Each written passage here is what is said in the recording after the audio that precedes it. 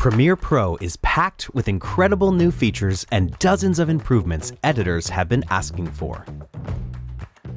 Text-based editing is an entirely new way of editing that makes cutting video as simple as copying and pasting text.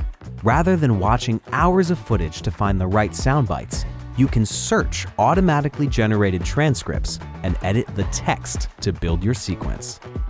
Automatic tone mapping makes it easier to work with HDR media like iPhone HLG and 10-bit log footage in the same timeline. You can mix and match footage from different cameras and get consistent looking images for editing and color grading. Automatic tone mapping makes your footage look great so you can focus on editing. This is also the most reliable and fastest version of Premiere Pro ever. Background autosave will save changes to the current project and make backups without interrupting your work.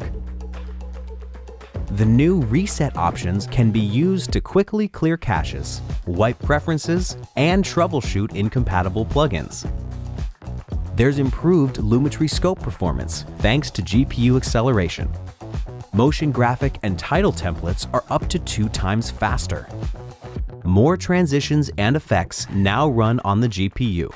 And best of all, crash rates have been cut in half, making this the most reliable version of Premiere Pro ever. There's support for Red V-Raptor XL, ARRI Alexa 35, and Sony Venice V2.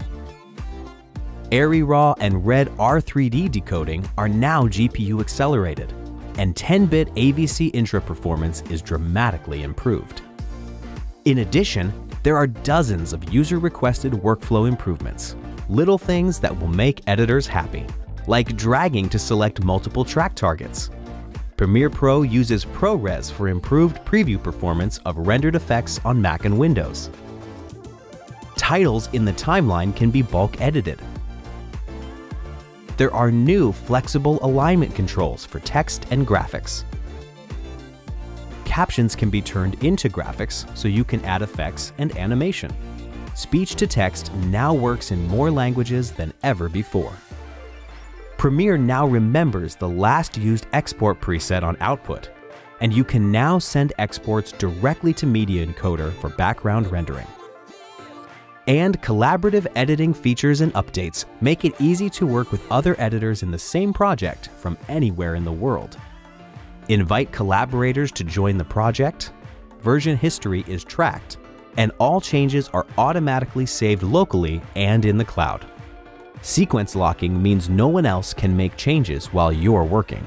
You can even work offline and sync changes later. No special hardware is required, just an internet connection. Premiere Pro makes collaborative editing easy and efficient. There's never been a better time to upgrade.